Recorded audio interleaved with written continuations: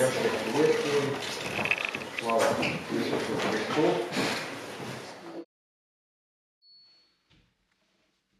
Будем слушать Слово Божие, готовиться к тому, чтобы участвовать в вечере Господней.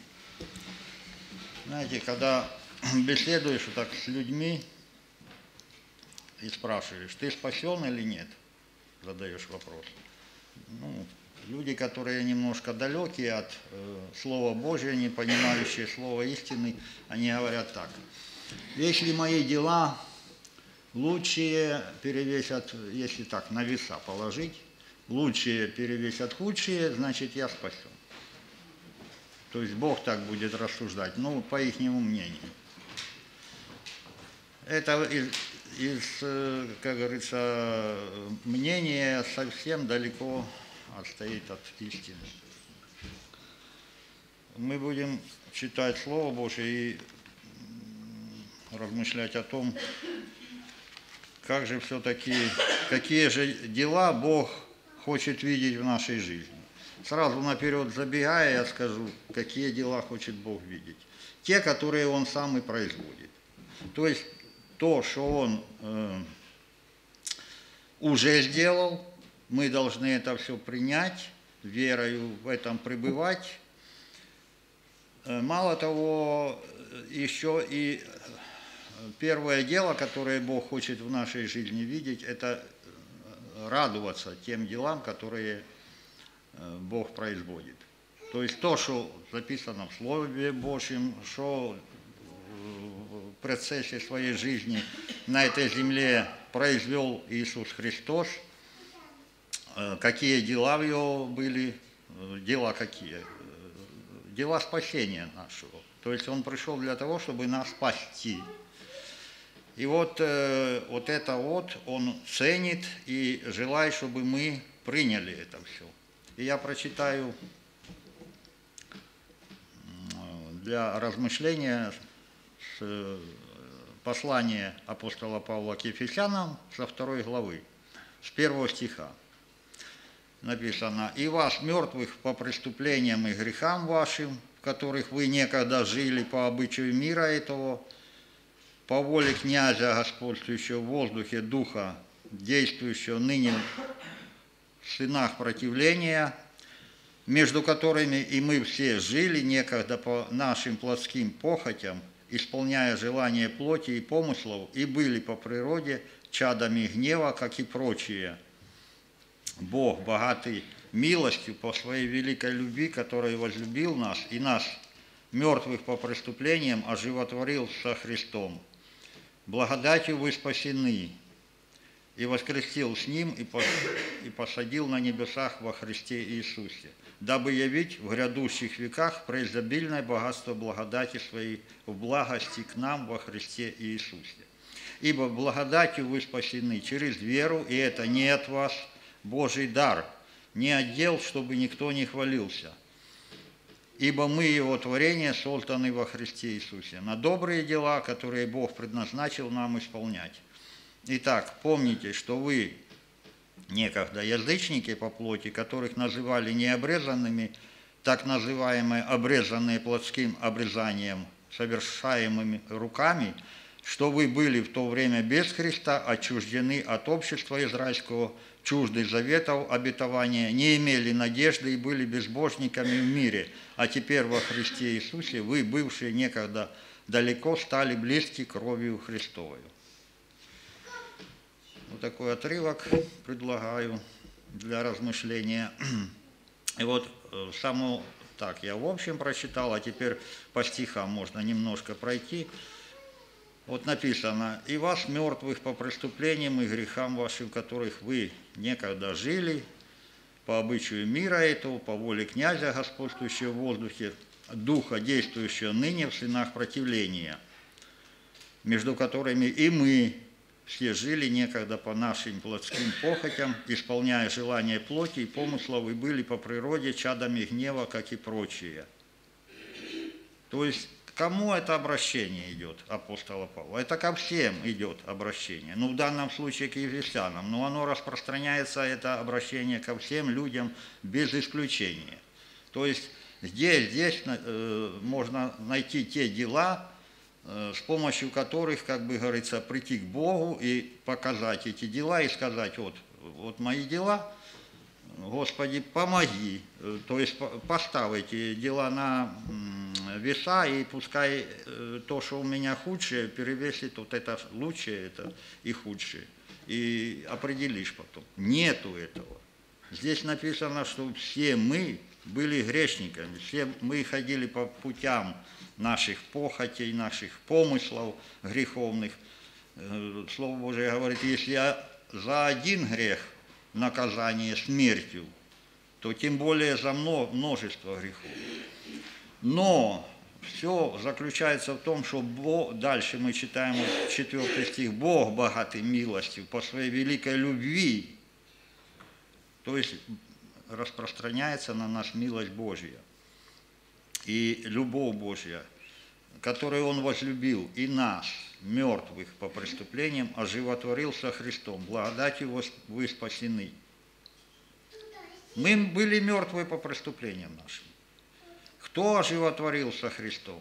Бог. Не мы. Мы себя можем оживотворить. Мертвый человек, который физически лежит там э, на, на одре, э, как говорится, на, на, смерть, на смертном одре, он может подняться. Некоторые пытаются что-то с мертвым, там манипуляции какие-то производить, за руки, за ноги, но он мертвый. Его даже суставы не гнутся. И мы такие были. То есть для Бога мы полностью мертвые. Но Он дал это все. Он оживотворил. Он, как мы возрождаемся, как мы становимся воскресаем. Вот э, дальше написано, и воскресил с ним, оживотворил нас, мертвых, оживотворил со Христом, воскресил с ним и посадил на небесах во Христе Иисусе. Насколько глубоко наше сознание доходит до вот этой истины, что это Бог нас оживотворил, воскресил, и уже мы на небесах в Его глазах сидим во Христе Иисусе насколько это важно для нас понимать вот эту истину, потому что без этой истины мы ничего не можем сделать. Мы, э, мы должны понять, что это все Господь уже произвел, независимо от того, чувствуем мы это, не чувствуем. Мы только верить этому, этому можем. То есть довериться Богу в том, что Он говорит такие слова для нас. Он действительно это сделал для нас. И мы действительно в его глазах уже находимся во Христе Иисусе. Но я могу лично сам отказаться от этого. То есть или стать на другой путь, на путь э, своих дел, как говорится. И буду искать Богу, Богу как бы угодить э, своими делами. Вот были те люди, которые так и поступали. Это и э, обращение к еврейскому народу апостола Павла в римлянах, так вот он говорит – Что же скажем, язычники, не искавшие праведности, получили праведность, праведность от веры. То есть язычники вообще не искали праведности, но они получили эту праведность по вере. А Израиль, искавший закона праведности, не достиг до закона праведности. Почему? Потому что искали не в вере, а в делах закона. Ибо приткнулись о камень преткновения, как написано, вот полагаю всего не камень преткновение и камень соблазна, но всякий верующий в него не постыдится. Братья, желание моего сердца и молитва к Богу об Израиле во спасение. Ибо свидетельствую им, что имеют ревность по Богу, но не по рассуждению, ибо не разумея праведности Божией, усиливаясь поставить собственную праведность, они не покорились праведности Божией. То есть э, даже среди верующих много такого вот, э, как говорится, хаоса такого духовного, который ведет не э, к прославлению Бога, не по пути спасения, а в сторону.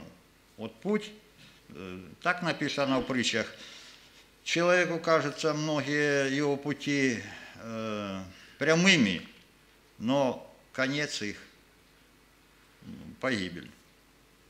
Почему так? Потому что все пути, все-все, до единого пути человеческие, как бы они красивые не выглядели, как бы оно все было незамечательно, все оно ведет к погибели. Оно ведет к нулю в Божьих глазах. Мало того, это еще и бесславит Господа. И мы э, должны вот эту истину, вот, которая была прочитана в Ефесян, что Бог во Христе нас посадил. Вот тут еще такое выражение особое. Во Христе. Если просто посадил на небесах, это неправда. Это не есть истина. Он во Христе посадил. Потому что то, что Христос произвел, вот это важно, вот это нам ценно, и мы в нем находимся. Это как на поле боя, вот это э, сейчас ждут э, наши войска, э, особое оружие, которое может быть защитить Украину там, и это особое оружие, там говорят, леопарды, танки, да, для чего? Для того, чтобы людей сберечь. Раз, и было еще поражать наступающие войска. Так вот эти леопарды, танки, они способны защитить в какой-то мере, конечно, в какой-то мере людей от э, снарядов. Хотя и они тоже могут поражаемы быть. Но во Христе Иисусе вот эта башня, это крепость, в которой человек должен находиться. Это его спасение, это его все. Это его э, праведность, святость, э, любовь, радость, мир так и тому подобное. И если говорить о делах, о делах, то э, какие дела должен делать христианин, то это дела, они вот, допустим, записаны в Галатам, это не дела, это плоды Божьи. Вот, Галат 22, 5, 22. Плод же Духа, любовь, радость, мир – долготерпение, благость, милосердие, вера, кротость, воздержание. Вот это то, что Бог хочет у нас видеть. Мы можем много собираться, много проводить конференций, много собраний, много делать что-то для Господа. Мы можем благовествовать весь мир, можем приобрести весь мир для Бога. Но если этих плодов в нашей жизни не будет, не знаю – мы не угодны Богу. Бог хочет видеть в нас любовь. А что такое любовь? Это то, что Он дает нам. Это то, что Он от Его исходит к нам. Это э, принимаем ли мы то, те условия, которые Бог хочет э, дать нам. Значит, будет это видно в нашей жизни. Радость. Радуемся ли мы тому, что э, Бог хочет нам дать? Вернее, Он уже дал. Что Он произвел на, на Голговском э, кресте. Мир. Помните, как говорил Христос своим ученикам? Мир вам даю, не тот мир, который дает этот этот э, мир падший, но мир я даю вам. И никто не похитит из руки моей. Это все исходит от Господа. Но наша задача это все принять. Но мы, знаете, бываем, я на своем опыте говорю за свой опыт, духовный, как бы говорится, такой, в кавычках. Я бываю как подобен, но то знаете, есть сказка – было когда-то в мои годы, в моей э, юности, такая или детство, а, сказка о прекрасном лебеде и гадком утенке. Может, помните? Э, значит, был гадкий утенок, который э, плавал на какой-то водоеме, ее там все птицы, которые там окружали его, они были прекрасны, красивы, его уничтожали, ну, как бы говорится, э, ущемляли, да. И вот И он уже впал, как бы говорится, в такую, как мы, люди, падаем в уныние, в депрессию, и он уже думал о себе все. Жизнь не сложилась, плохая, очень плохо мне. И вот однажды он увидел себя э, на, как в зеркале в этой водоеме, что он уже не, не гадкий утенок, а прекрасный лебедь. Да? То есть э, в нашей жизни мы можем тоже, глядя на себя, вот, видеть только какие-то наши недостатки. Что-то у нас не так получается. Мы не такие, мы духовно не так идем, не, не так получается. А почему? Потому что мы смотрим на себя. Есть такое изречение у христианское, значит, оно гласит так.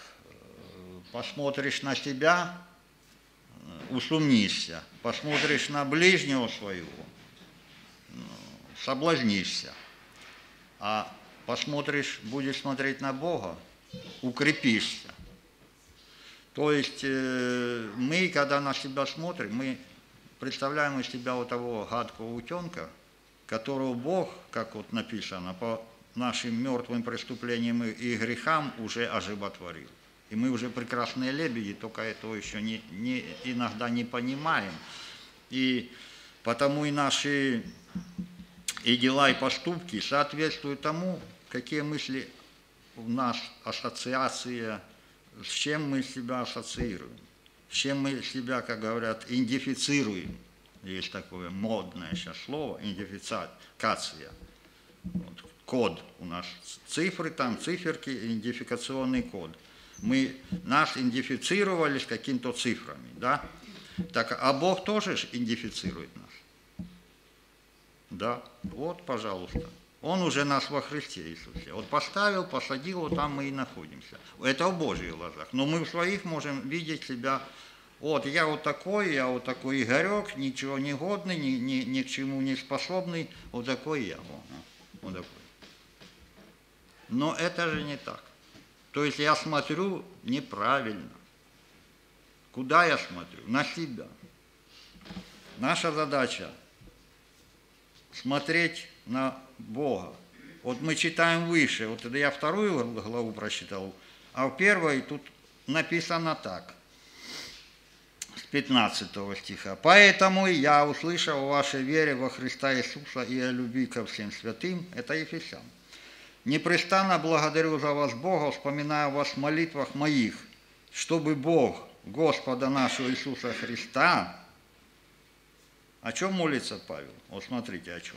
Чтобы Бог, Господа нашего Иисуса Христа, Отец славы, дал вам духа премудрости и откровения к познанию Его, и просветил глаза сердца вашего, дабы вы познали, в чем состоит надежда, призвание Его, и какое богатство славного наследия Его для святых, и как, то есть, какие богатства дает нам Бог.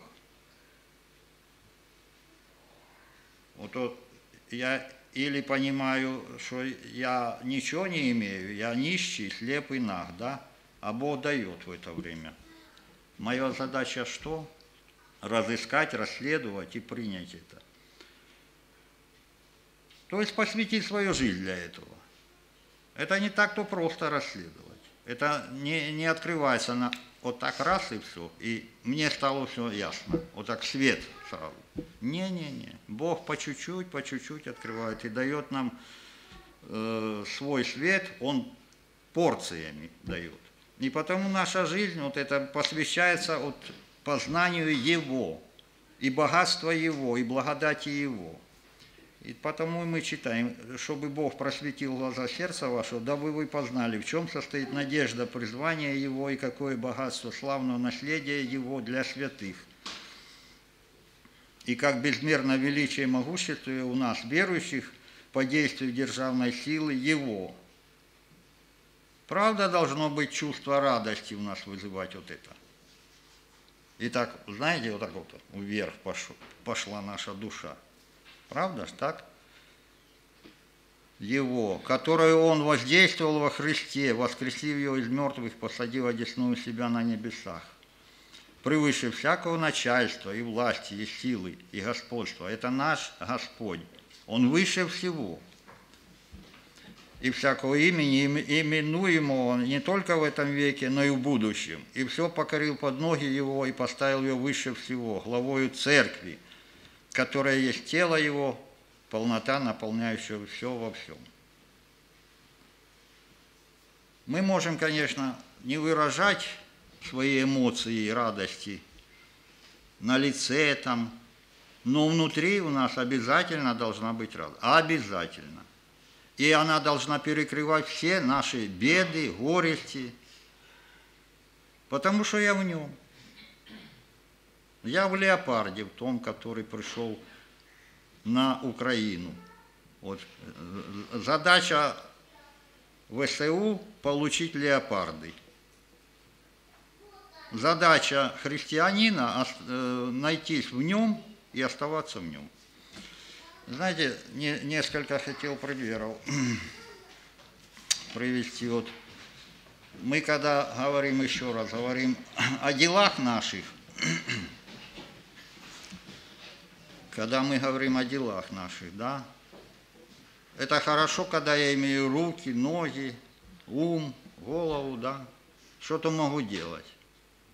И, и я так и думаю, я ж, как вот у, у, прочитал у послании к римлянам, а, что мы имеем ревность, но не по рассуждению.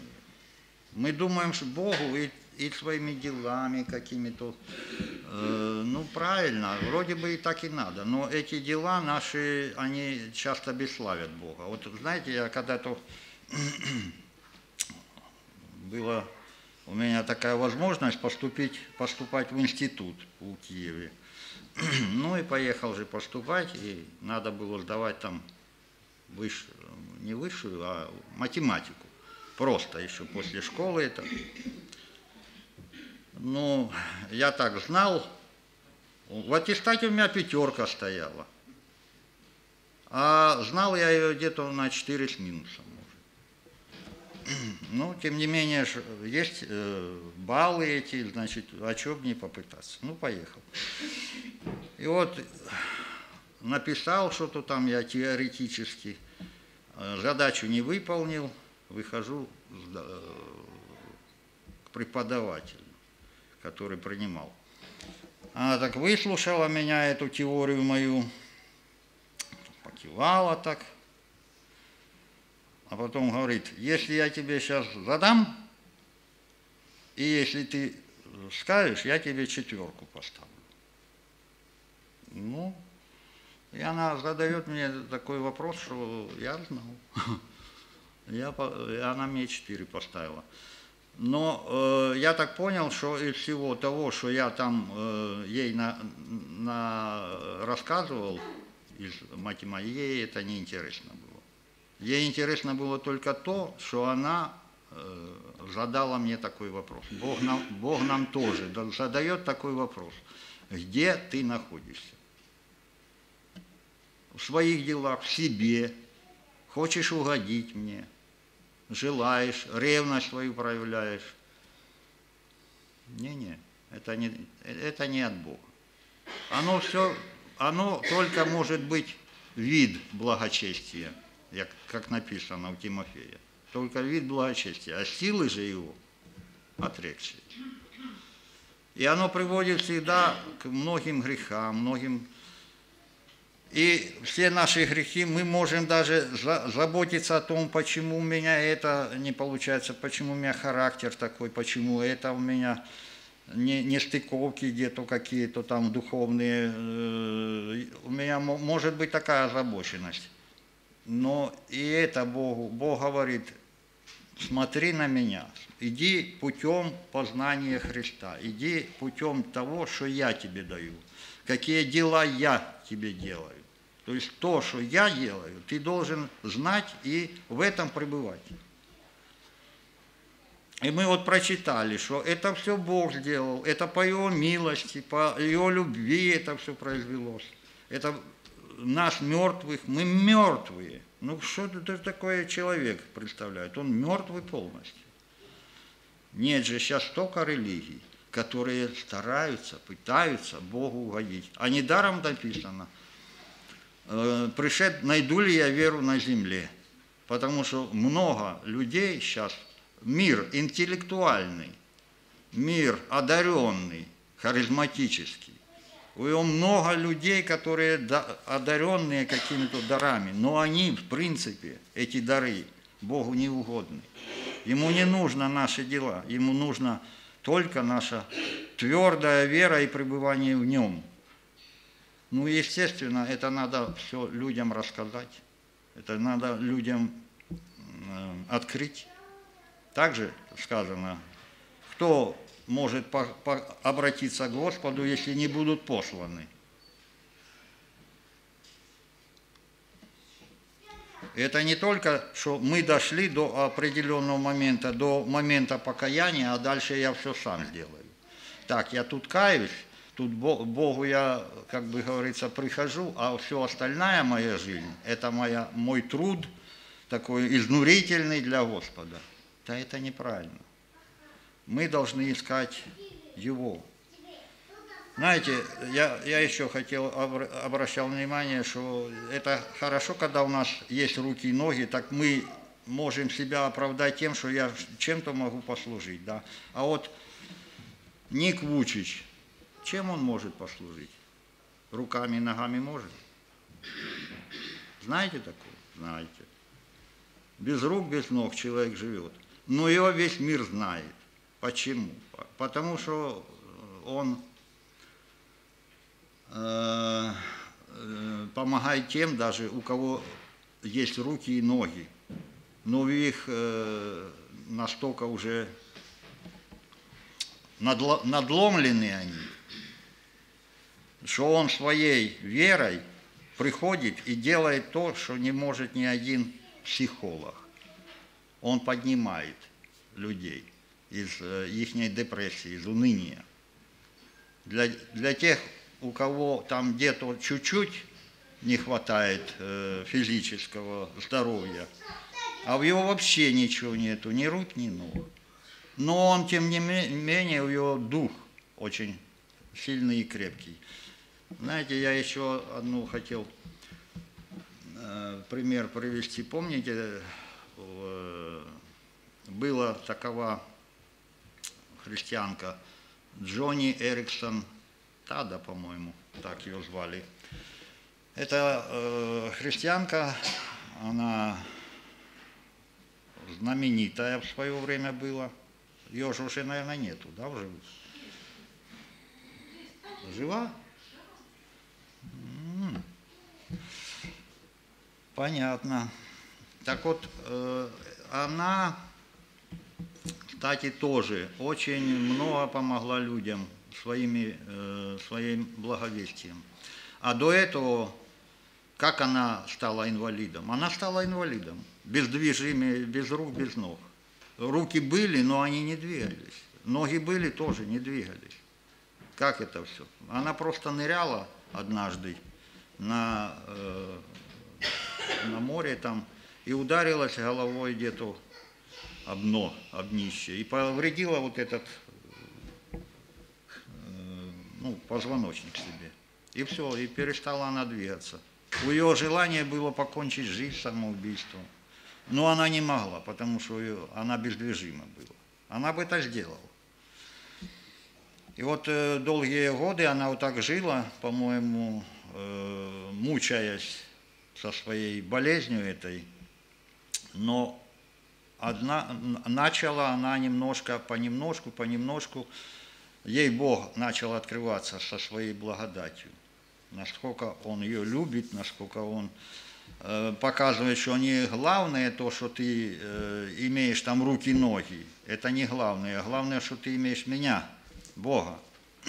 И она в этом начала утверждаться, и постепенно она стала э, расти духовно, и она была способна уже людей тоже э, таких же, как она, ну, наподобие инвалидов, она утешала их просто.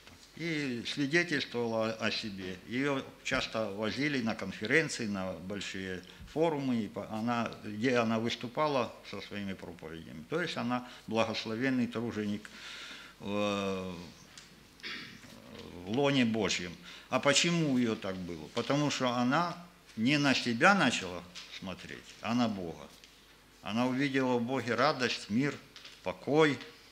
И вот с этого надо, она начала и стала благословенным тружеником.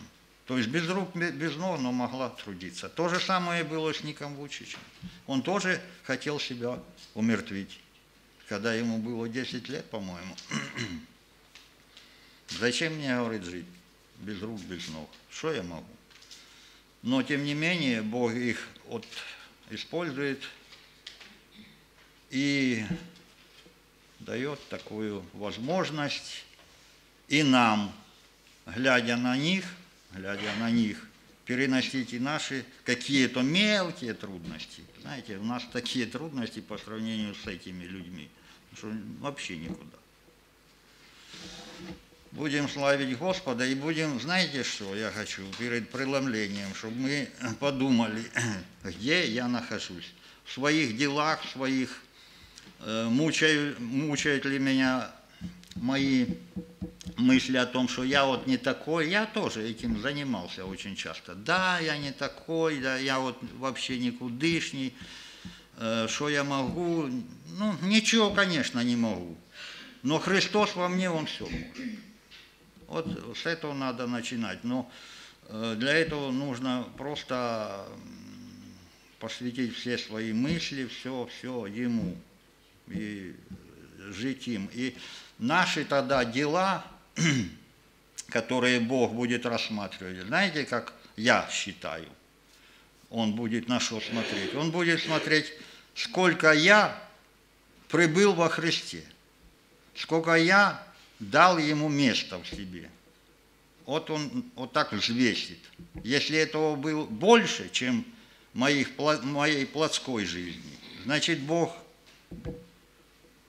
скажет, добрый раб, да? А если я все время на свою плоть, на свою плоть, да еще, а, знаете, от ее хорошего ждать нечего. Наша плоть – это источник только зла, греховый и союзник дьявола. И все. Но она иногда выглядит как духовная. Но там ничего хорошего нет. Так вот, наш дух должен пылать и радоваться нашему Господу, Его делам, Его благодати и прославлять Его. То, что Бог и хочет в нашей жизни. Аминь.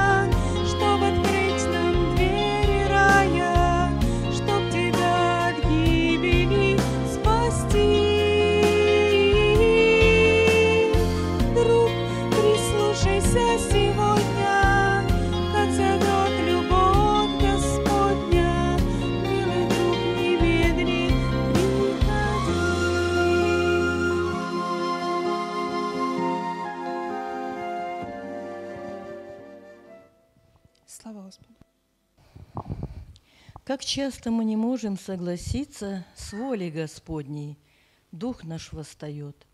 Не, можем в чем-то Богу покориться, идя путям, путем, которым Он ведет. Пусть будет только так, а не иначе. Так будет лучше, Боже, для меня. Мы умоляем Господа и плачем. Но почему не слышишь ты меня? На доброе прошу, а не на злое. Но почему ты мне не хочешь дать ты посылаешь мне нечто иное, никак не могу я тебя понять. Мы спорим, доказываем Богу, что это плод, что это плод могло бы, что это плод могло бы принести. Но у него для нас своя дорога. Он знает сам, кого и как вести. Мы часто вымылить не можем фразу «Да будет воля Господи Твоя» и молимся порой однообразно «Благослови, дай, помоги, так хочу я». В молитве часто мы приносим Богу волю свою.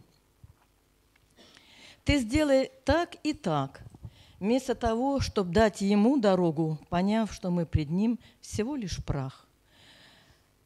С, горы, с горшечником скажи, спорит ли глина, зачем ты что-то сделал из меня?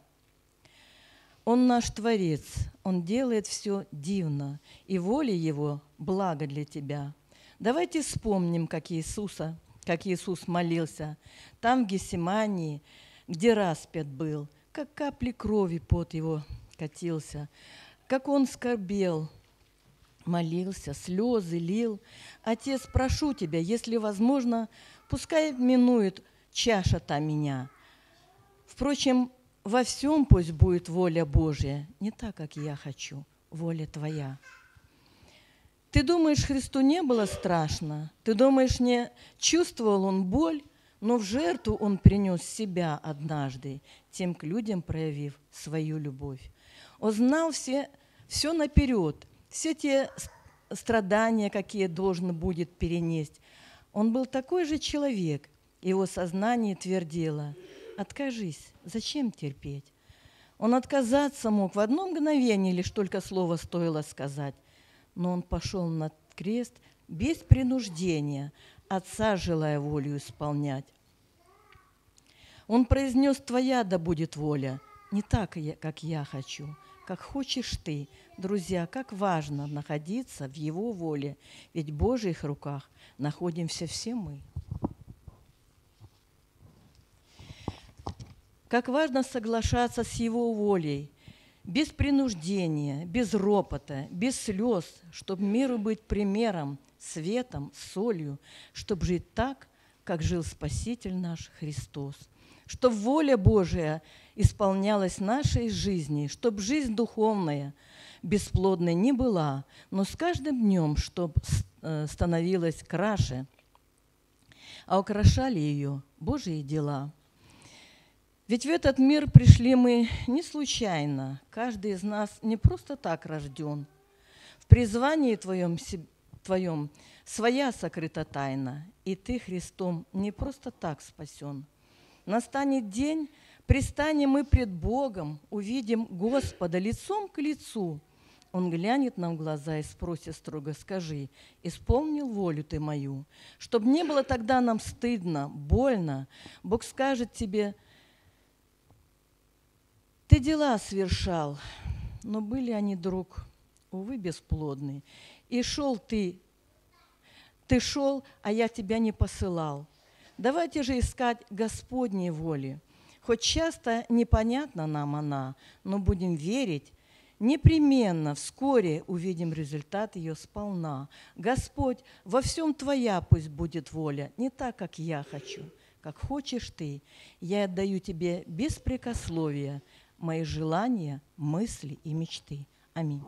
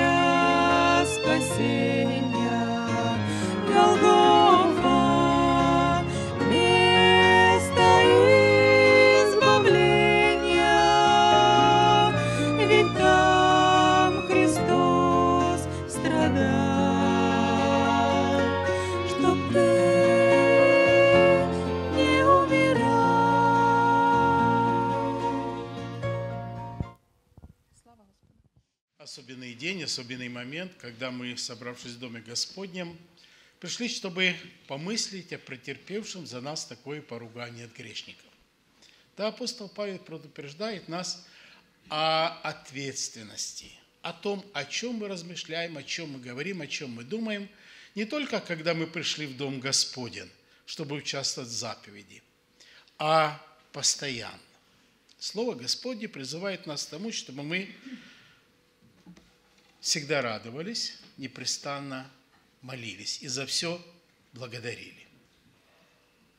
Прежде чем мы будем участвовать в заповеди, мы поразмышляем над текстом Священного Писания. Когда мы говорим о страданиях Иисуса Христа и особенно о заповеди, три евангелиста говорят подробно о том, как Иисус Христос устанавливал заповедь.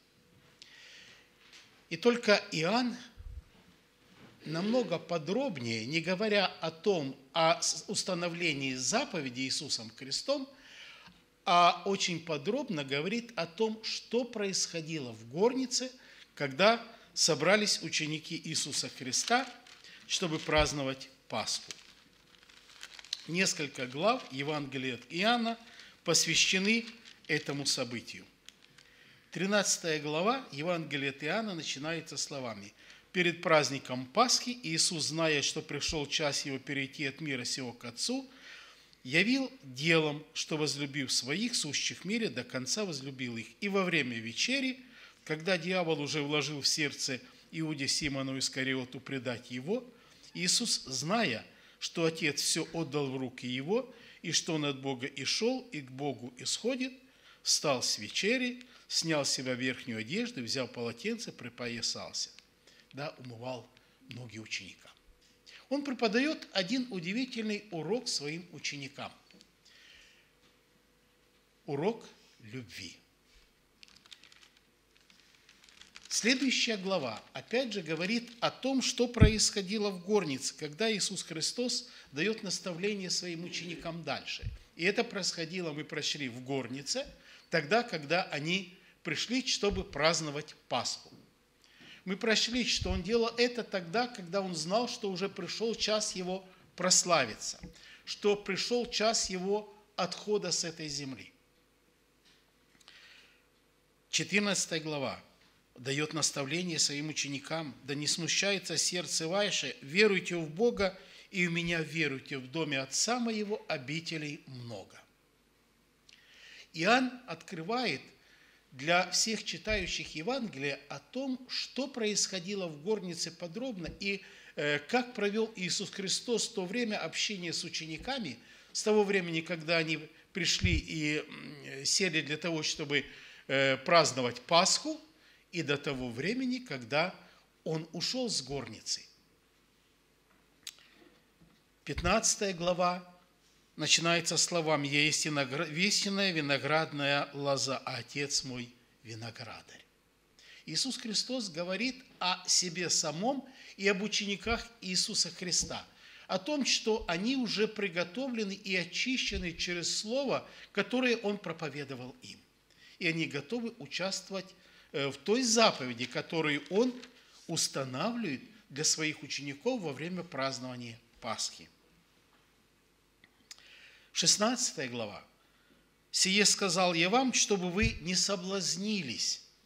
Говорит о предстоящих событиях, о своих страданиях и о том, что произойдет с учениками Иисуса Христа, о том, как они должны будут вести себя в дальнейшем. И 17 глава – это удивительная молитва Иисуса Христа. Молитва, которая заканчивает празднование Пасхи – которая заканчивает установление заповеди, и мы сегодня поразмышляем над этой молитвой. После сих слов Иисус возвел очи свои на небо и сказал. Он подводит итог. Он уже сказал все, что необходимо было своим ученикам. И теперь он заканчивает и празднование Пасхи, и установление заповеди, и все то, что он говорил своим ученикам, молитвой. После сих слов Иисус возвел очи свои на небо и сказал, «Отче, пришел час, прослав Сына Твоего, да и Сын Твой прославит Тебя». Предыдущие главы, где Иисус Христос давал наставление своим ученикам, это звучало как от Бога. Слова от Бога, переданные Его Сыном для народа. Теперь Сын Божий от лица этого народа и от себя молится своему Отцу Небесному. О чем он молится? Отче, пришел час, прослав Сына Твоего, да и Сын Твой прославит Тебя. Цель прихода Иисуса Христа на эту землю – разрушить оковы сатаны, которые отлучили человека от общения с Богом. И теперь, когда заканчивается этот путь, он молит Отца Небесного о том, что пришел час прославить Его, Отца Небесного. Чтобы тот смысл, который Бог вложил в свое творение, в человека, и это творение начало прославлять Бога. И он говорит о том, на своем примере, о том, что пришел час, прослав Сына Твоего, да и Сын Твой – прославит тебя. Смысл прихода – прославить имя Божие. А Бог со своей стороны прославит Сына Своего.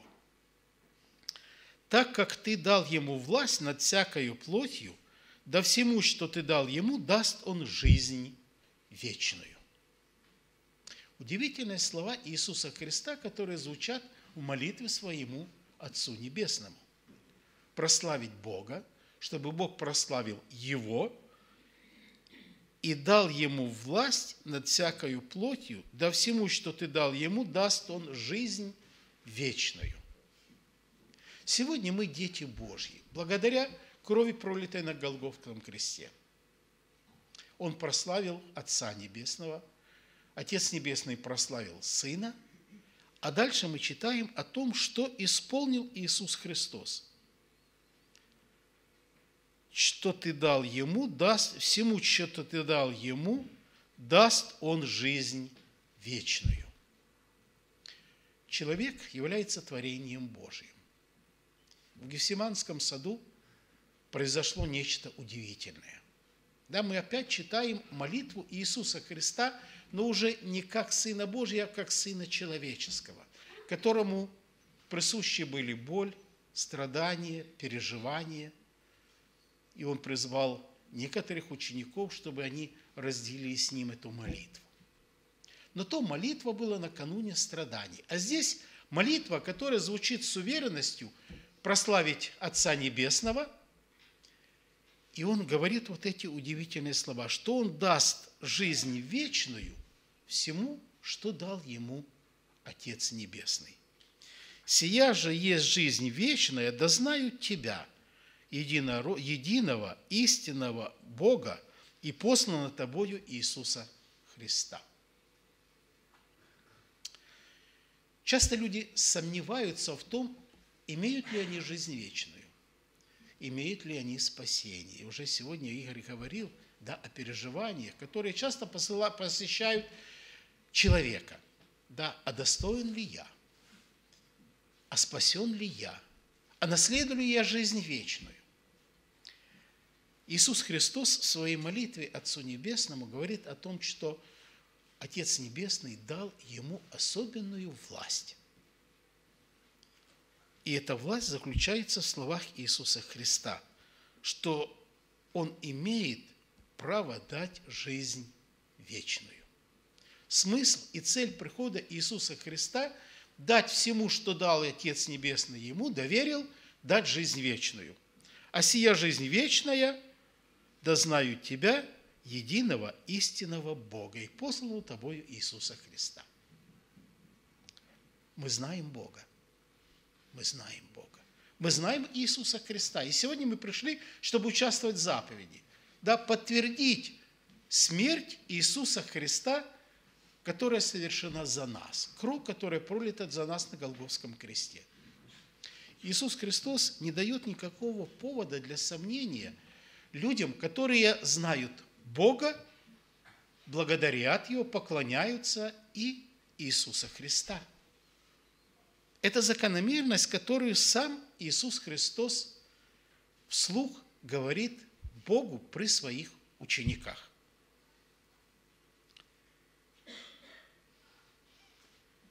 «Я прославил Тебя на земле, совершил дело, которое Ты поручил мне исполнить» еще не было страданий Иисуса Христа.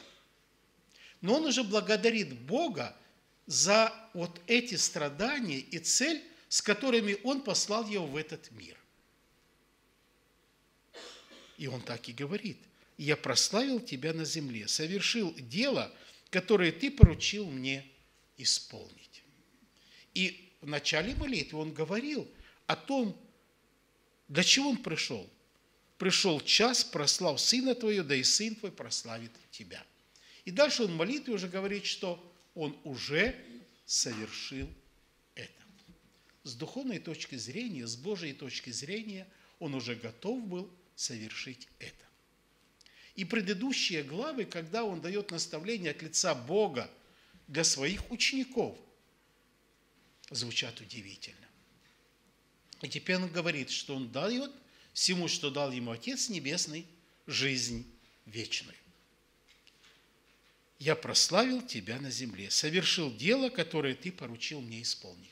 Если не было страданий, если бы не было смерти на кресте Голговском и не было воскресения, то было бы это делом Божьим.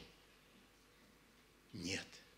Потому что смысл его прихода на эту землю был именно в этом. И хотя первосвященники восстали против Бога, и Каяфа подал удивительную мысль для остальных, чтобы Иисус Христос умер. Лучше, чтобы один человек умер, чем погибнет весь народ. И Иоанн и эти слова употребляет в своем Евангелии. И даже уточняет, что это был Каиафа, тот человек, который на тот год был первосвященником. Но Иисус Христос в молитве еще в этом доме, где совершался празднование Пасхи, где устанавливалась заповедь, где Он давал наставление последнее своим ученикам, и где произносил вот эту молитву к Богу, Он говорит, что Он уже совершил дело, для которого послал Его Отец Небесный. Дать вечную жизнь всему, что дал Ему Бог. И ныне прослав меня Ты, Отче, у Тебя самого славою, которую я имел у Тебя прежде бытия мира. Иоанн слышал вот эти слова. и передает слова в молитве Иисуса Христа о том, что Он был прежде бытия мира. Он сам говорит об этом, о том, что Он был, какой славой Он обладал, славою, которую я имел у Тебя прежде бытия мира. Я открыл имя Твое человеком, которых Ты дал мне от мира. Он говорит о своих учениках. О учениках, которых он избирал тоже, проведя в молитве целую ночь. И он говорит о том, что а утром он избрал 12 учеников. И теперь он в молитве говорит, «И открыл имя Твое человеком, которых Ты дал мне от мира. Они были Твои, и Ты дал их мне, и они сохранили Слово Твое». Можем ли мы, читая вот эти слова, говорить о том, что мы тоже относимся к этим людям, людям Иисуса Христа, людям, которых дал Ему Бог, которым Он открыл имя Его, которых сохранил и за которых благодарит в своей молитве Отца Небесного? Мы можем с уверенностью сказать «да». Ныне уразумели они, что все, что Ты дал мне – от тебя есть. Ибо слова, которые ты дал мне, я передал им, и они приняли и уразумели истинно, что я и шел от тебя, и уверовали, что ты послал меня. И мы можем сказать, что мы относимся по милости Божьей к этим людям, которых Бог усмотрел, предусмотрел, как говорит священный, предознал, предназначил ко спасению. Здесь нет никакой нашей заслуги. Это милость Божья, которая коснулась нас через Слово, которое опять же открыто нам. И о чем говорит Иисус Христос? «Ибо слова, которые дал мне, я передал им, и они приняли и уверовали, и уразумели истинно, что я и шел от тебя, и уверовали, что ты послал меня». Мы относимся к этим людям. Дальше мы читаем, «Я о них молю, не о всем мире молю, но о тех, которых Ты дал мне, потому что они Твои, ибо все мое Твое и Твое мое, и я прославился в них. Я уже не в мире, но они в мире». Иисус Христос еще в горнице молится, но говорит, я уже не в мире. Он готов пройти через эти страдания и говорит об этом Отцу Небесному. Хотя будут молитвы в Гефсимане, будут переживания, но основные переживания будут учеников Иисуса Христа. Но Он благодарит за них. «Я уже не в мире, но они в мире, и я к Тебе иду, Отче Святой. Соблюди их во имя Твое, тех, которых Ты мне дал, чтобы они были едино, как и мы. Когда я был с ними в мире, я соблюдал их во имя Твое, тех, которых ты дал мне, я сохранил, и никто из них не погиб, кроме сына погибели, да сбудется Писание. Иуда уже отправился делать свое дело. И он говорит об учениках. Он говорит и об Иуде. Он знал, что он предаст его, но ничем не выделял среди остальных учеников. Ныне же к тебе иду, и сие говорю мире, чтобы они имели в себе радость мою совершенную. Вот почему и сегодня, когда мы проходим через испытание, Слово Господне говорит, что вот то, чем мы обладаем, что дал нам Бог, чем мы отличаемся от других людей, это радостью. Радостью, что мы дети Божьи, что мы спасенные, что мы имеем жизнь вечную. И то, через что проводит нас Бог, мы должны благодарить. Благодарить, потому что Он достоин этой благодарности. Я передал им Слово Твое. И мир возненавидел их, потому что они не от мира, как и я не от мира. Почему не воспринимают верующих людей? Потому что Иисус Христос наперед говорил об этом и знал, поскольку он не от мира, его не приняли, распяли. Он говорит, так будет и с учениками. Почему? Потому что они не от мира. Не молюсь, чтобы ты взял их из мира, но чтобы сохранил их от зла. Да, вот то зло, которое первые люди не смогли устоять.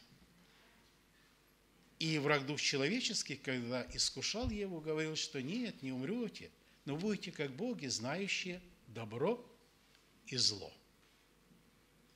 И вот эта борьба, которая происходит и сегодня, она будет происходить до тех пор, пока в роду человеческих, когда придет Господь, во второй раз за своей церковью, и враг не будет скован и брошен в темницу, это будет происходить. Но он молится об учениках, чтобы он не взял их из мира, но чтобы сохранил от зла. И мы понимаем, что когда мы подходим к испытаниям всевозможным и забываем о том, что Бог сам, Отец Небесный, готов благословить, потому что Сын молил Его об этом, Бог благословляет.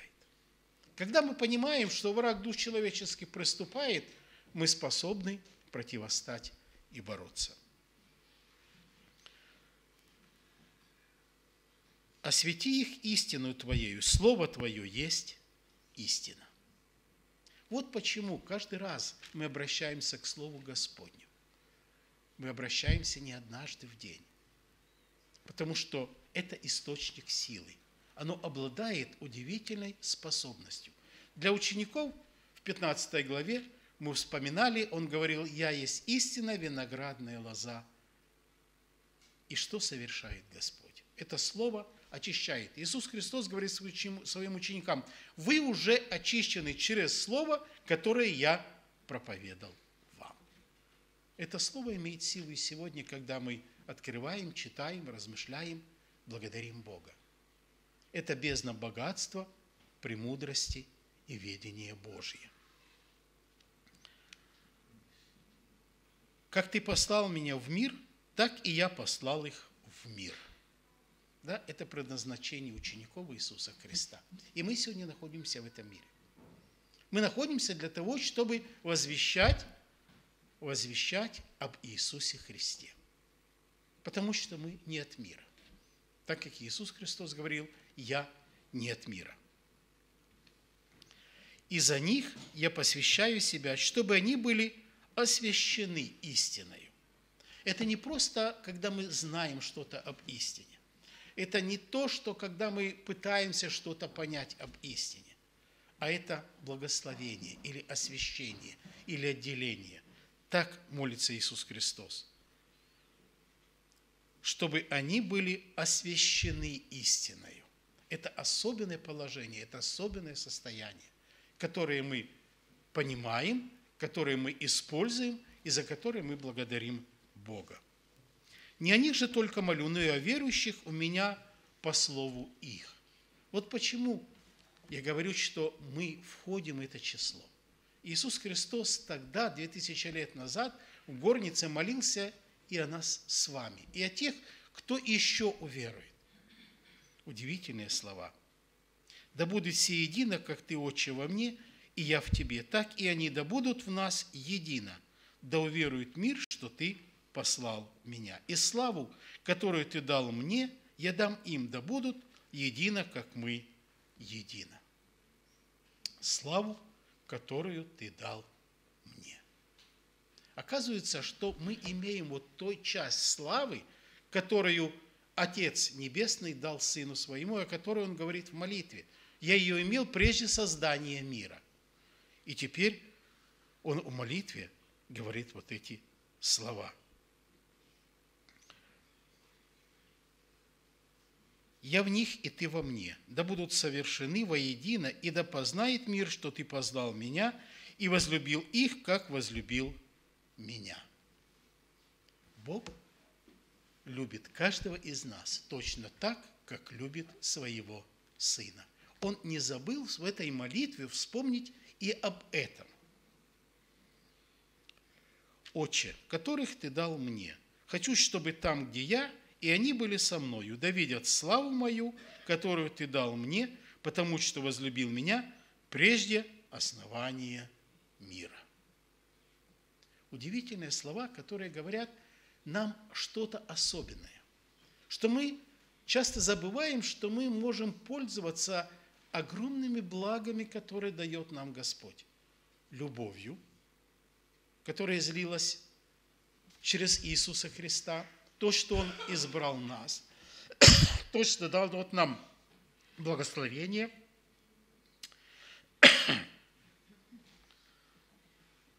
Отче праведный, и мир тебя не познал, а я познал тебя, и сии познали, что ты послал меня. Мы знаем Отца, знаем Иисуса Христа, знаем то, что Он послал его в этот мир с определенной целью. И мы свидетельствуем сегодня, когда приходим в Дом Господний, чтобы участвовать в заповеди, что мы делаем? Слово Господне говорит, смерть Господню возвещаем, доколе Он придет. Возвещаем смерть Господню.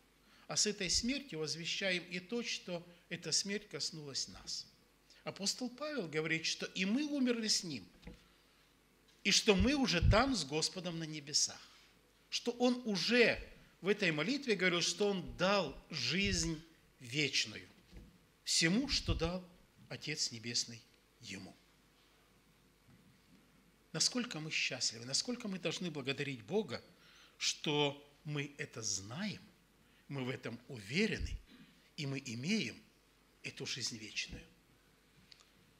Что может нас отлучить от этого? Апостол Павел говорит, ничто.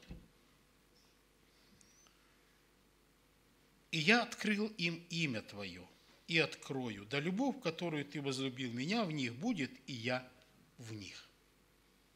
Открыл им имя Твое, и еще открою. Да, он говорит о том, что то, что мы знаем, то, что мы веруем, то, что мы исповедуем, это прекрасно. Что мы уже посажены на небесах, что мы имеем жизнь вечную, это прекрасно. Но когда мы своими глазами увидим Господа, увидим во славе, увидим со святыми ангелами. Он говорит и об этом. Что это будет особенное время, особенное общение, когда мы своими глазами увидим это. И апостол Павел упоминает об этом в своих посланиях и говорит, что никто другой, я своими глазами это увижу. И сегодня мы пришли, чтобы прежде всего себе возвестить, размышляя о страданиях Иисуса Христа – возвещать смерть Господню для себя и для других. Мы берем, принимая эти видимые знаки, кусочек хлеба, который символизирует тело Иисуса Христа. Апостол Павел в 10 главе послания к Коринфянам говорит, не есть ли это приобщение тела Христова? Что значит приобщение? Это значит, мы становимся особенно близкими. И не потому, что мы этого желаем, а потому, что Господь сам установил эту заповедь, для того, чтобы мы могли иметь вот это тесное общение через эти увидимые знаки с нашим Господом Иисусом Христом. И глоток вина, который есть не что иное, как символизирующий кровь Иисуса Христа, пролитую за нас на Голгофском кресте. И вот, заканчивая свою молитву, Иисус Христос говорит, «И я открыл им имя Твое и открою». Да, открыл и открою предыдущих главах, когда говорили ученики, говорили Иисусу Христу, «Э, покажи нам Отца и довольно. А что говорил Иисус Христос? Вы видели меня, да, знаете, я в, отец, в Отце и Отец во мне. Что еще нужно? Что вам еще не хватает? Этого уже достаточно. А вот следующее, и я открыл им имя Твое и открою. А следующее, это увидите тогда, когда своими глазами увидите, вознесшись на небо. И я открыл им имя Твое, и открою, да любовь, которую Ты возлюбил меня, в них будет, и я в них. Вот что отличает нас от других людей. Любовь. Любовь Божия, излитая через Иисуса Христа, через Его страдания на нас. Мы знаем, что мы дети Божии искупленные знаем, что мы имеем жизнь вечную, что нам открыто имя Божье. А еще больше откроется, когда Господь придет на эту землю, чтобы взять нас от земли. Да любовь, которую Ты возлюбил меня, в них будет. Иисус Христос молит о том, чтобы любовь Божья, которая излилась в Него, которой он пользовался, открыл своим ученикам, чтобы они сохранили эту любовь, чтобы эта любовь была, которую ты возлюбил меня, в них будет. Должна быть любовь Божья в нас, и еще он говорит, и я в них. Иисус Христос в каждом из нас. И вот сегодня Он особенно близок. Особенно близок к нам через эти видимые знаки. Поэтому будем, прежде чем приступать к заповеди, будем благодарить Бога. Склонимся в молитве. Аминь.